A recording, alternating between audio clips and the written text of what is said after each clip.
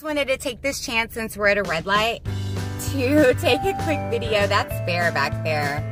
Inside of those little sacks there, that's, um, this is Rex and this is Maisie. And we're on our way to Doggone Styling so we can get our groom on. Yeah.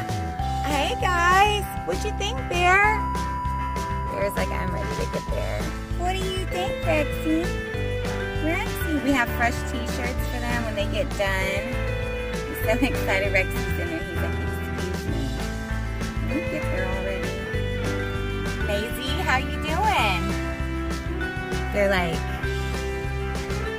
so ready to be there.